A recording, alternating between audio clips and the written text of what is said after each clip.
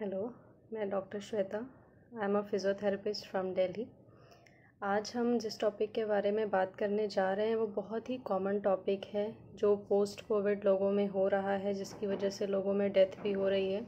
तो आज हम उस टॉपिक के बारे में डिटेल में पढ़ेंगे या देखेंगे कि आखिर में वो होता क्या है. आप लोगों ने सुना ही होगा, आजकल ब्लैक फंगस बहुत तेज़ी से फैल रहा है पोस्ट कोविड पेशेंट्स में. जो पेशेंट्स कोविड से रिकवरी में आ चुके हैं, उसके बाद भी उनकी डेथ हो जा रही है ड्यू टू ब्लैक फंगस तो एक्चुअली में ये ब्लैक फंगस होता क्या है? क्यों होता है? हम इससे अपने आप को कैसे प्रिवेंट कर सकते हैं? ये सब चीज़ें मैं आपको आज बताऊँगी डिटेल में. तो सबसे पहली बात कि ब्लैक फंगस होता क्यों है? किस लिए होता है? और अभी ही ये क्यों कॉमन हुआ है। ब्लैक फंगस जिसे हम साइंटिफिक लैंग्वेज में म्यूकोर माइकोसिस भी कहते हैं, जो कि एक फंगल डिज़ीज़ है, जो पहले भी होती थी। बट अभी पोस्ट कोविड लोगों में ज़्यादा इसलिए होती है क्योंकि उनकी इम्यूनिटी वीक हो जाती है, इसलिए वो ज़्यादा अमाउंट में अटैक करता है बॉडी को। क्योंकि हमारा इम्यून सिस्टम इतना वीक हो जाता है कि उसके अंदर पैथोजेंस या फिर कोई माइक्रो ऑर्गेनिजम्स जो होते हैं, उनसे लड़ने की शक्ति नहीं बच पाती है। तो वो हमारे लंग्स पे, हमारे नोज़ पे, हमारे आइस पे, ऐसे बहुत सारे ऑर्गन्स पे अटैक करते हैं, जिसकी वजह से वो ऑर्गन इतना ज़्यादा इन्फेक्ट हो जाता है, या तो हमें उसे निकालना पड़ता है, या हमें मेडिसिन लेनी पड़ती हैं। कुछ केसेस में डेथ हो जाती है, अगर वही केस वर्स हो जाता है तो। तो सबसे पहले हम जानेंगे कि म्यूकोर माइकोसिस या ब्लैक फंगस होता क्यों है और हम इसे ब्लैक फंगस बोलते क्यों हैं? फंगस जैसा कि हम जानते हैं कि जब अगर कोई चीज़ हो, अगर हम जैसे ब्रेड ही होता है, एग्ज़ाम्पल मैंने पहले बताया भी है कि जब हम ब्रेड को गीला करके उस पर मॉइस्चर डाल के रख देते हैं कुछ टाइम के लिए दो तीन दिन बाद देखेंगे तो उस पर एक ग्रीनिश टाइप या ब्लैकिश टाइप का मटेरियल इकट्ठा हो जाता है। वो ब्रेड ख़राब हो चुकी होती है। उसे ही हम फंगस कहते हैं। तो इसी तरीके से अगर हमारी बॉडी में भी मॉइस्चर का कंटेंट ज़्यादा रहेगा तो हमारी बॉडी में भी फंगल इन्फेक्शन होने के चांसेस सबसे ज़्यादा होते हैं। तो सबसे पहली बात, ये पोस्ट कोविड ही क्यों हो रहा है? क्योंकि पोस्ट कोविड में ये देखा गया है कि जब कोविड का टाइम चल रहा होता है, लोगों में ऑक्सीजन दिया जाता है, उसमें भी वाटर कंटेंट होता है। दूसरी बात कि स्टेरॉइड्स जो हम देते हैं, ये स्टेरॉइड और जो बॉडी बिल्डर्स वगैरह लेते हैं, उस स्टेरॉइड में डिफरेंस होता है। ये स्टेरॉइड हम लंग्स के इन्फ्लेमेशन को, जो उसमें इन्फेक्शन हो गया है, उसको कम करने के लिए देते हैं। तो ये स्टेरॉइड क्या करता है, हमारी बॉडी में ग्लूकोज के कंटेंट को इंक्रीज़ कर देता है। जब ग्लूकोज का कंटेंट इंक्रीज़ होता है तो हम हमारी बॉडी में नमी हो जाती है, जिसकी वजह से इन्फेक्शन के चांसेस ज़्यादा होते हैं।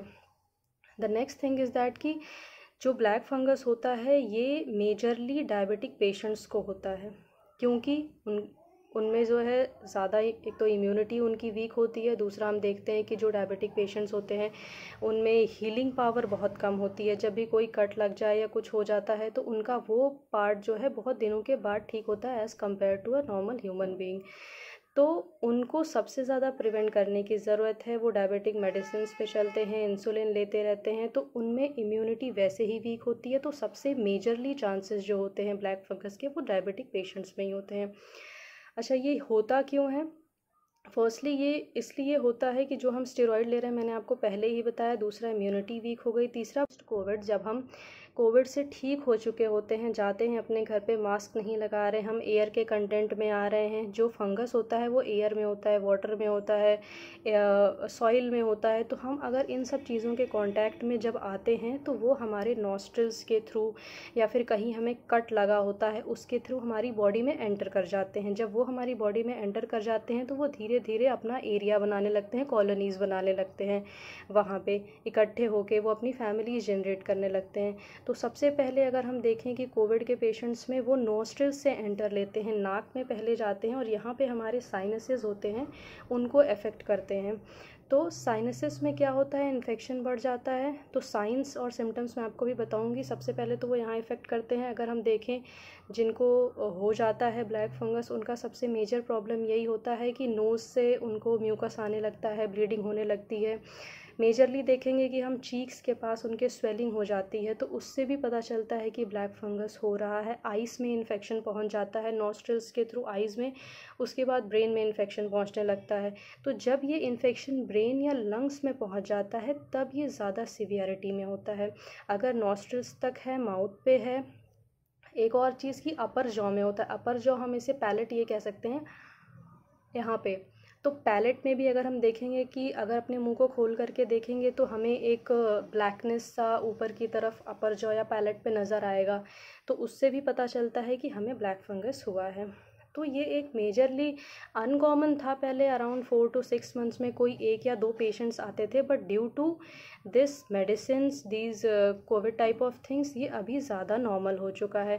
पहले ये उन पेशेंट्स में होता था जिनका या तो ऑर्गन ट्रांसप्लांट होता था, कोई बड़ी सर्जरीज़ होती थी तो उनमें जब इम्यूनिटी वीक हो जाती थी, क्योंकि उसमें भी स्टेरॉइड्स दिए जाते थे और ग्लूकोज लेवल को नॉर्मल रखने के लिए डायबिट डायबिटीज़ को नॉर्मल रखने के लिए हम मेडिसिन देते थे। तो उसमें वाटर कंटेंट ज़्यादा होता था वो मॉइस्चर करते मॉइस्चराइज रखते थे हमारी बॉडी को तो उसमें भी फंगल इन्फेक्शन होने के चांसेस ज़्यादा रखते थे। तो अभी भी वो हो रहा है बट अभी हम स्टेरॉइड का यूज़ ज़्यादा कर रहे हैं तो हमें ये प्रॉब्लम हो रही है। सो so, हमें पता कैसे चलेगा, ये मैं आपको कुछ कुछ तो बता चुकी हूँ। पता ऐसे ही चलेगा कि हमारे नोज़ में या तो बहुत इरिटेशन होगा या पेन होगा आइज़ में इरिटेशन होने लगेगा ब्लरनेस होने लगेगा, हमें दिखना बंद हो जाएगा। कब, जब दिखना बंद हो गया तो वो ज़्यादा इन्फेक्शन हो चुका है। ब्लरनेस तक तो ठीक है बट अगर ऐसा कुछ होता है तो हमें प्रॉपरली जाके फिजिशियन और डॉक्टर को दिखाना पड़ेगा। तो अगर कोई भी ऐसे साइंस आपको नॉस्ट्रल्स में इरिटेशन नोज़ में पेन या चीक्स के पास आपके स्वेलिंग होता है या ईयर में पेन होता है या आपको खांसी आ रही है, उसके बाद भी गले में इरिटेशन हो रहा है तो आप फ़ौर जाके डॉक्टर को दिखाएँ और मेडिसिन लें। कुछ ज़्यादा बड़ी प्रॉब्लम नहीं है बट हाँ अगर आप इसको इग्नोर करेंगे तो ये प्रॉब्लम और बढ़ जाएगी। ठीक है? सो so, अब हम इसको ट्रीट कैसे कर सकते हैं? ट्रीट ऐसे कर सकते हैं कि एंटी फैंगल ड्रग्स आते हैं कुछ जो हम डब डॉक्टर के पास जाएँगे तो आप बिना प्रिस्क्रिप्शन के ड्रग्स तो ले ही ना बिल्कुल।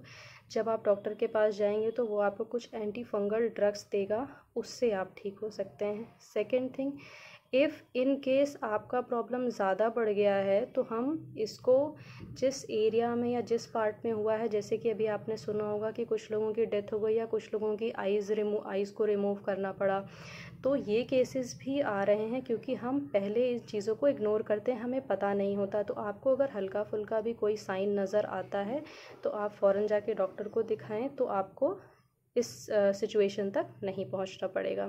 द थर्ड थिंग कि हमें पता कैसे चलेगा कि ये इन्फेक्शन हमारे ब्रेन तक या लंग्स तक पहुँच गया है। तो इसके लिए the best thing is that कि you have to make your C T scan और एम आर आई तो आपको ये दो टेस्ट कराने पड़ेंगे, जो कि आपको डॉक्टर प्रिस्क्राइब करेगा। लंग्स तक अगर इन्फेक्शन पहुँच चुका है, फंगल इन्फेक्शन, आफ्टर कोविड भी तो भी आपको सिम्टम्स कोविड जैसे ही आएँगे, जैसे कि सांस लेने में आपको तकलीफ़ होने लगेगी फिर से।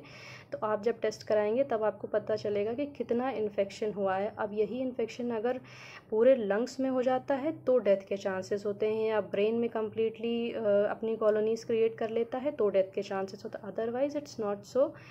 कि हमें बहुत ज़्यादा टेंशन लेने की ज़रूरत है कि हमें हो गया तो अब डेथ ही है। इट्स कॉमन बट हाँ prevention is better than cure तो प्रिवेंशन बहुत इंपॉर्टेंट है।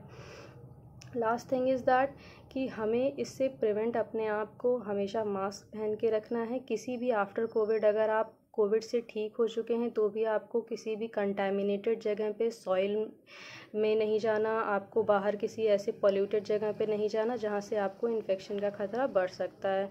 दूसरा, आप कंट्रोल इसको कर सकते हैं, जैसे अगर आप डायबिटिक पेशेंट्स हैं तो अपनी डायबिटीज़ को प्रॉपरली कंट्रोल रखें। अगर आप नहीं कंट्रोल रखते हैं तो आपको होने के एटी परसेंट चांसेस हैं।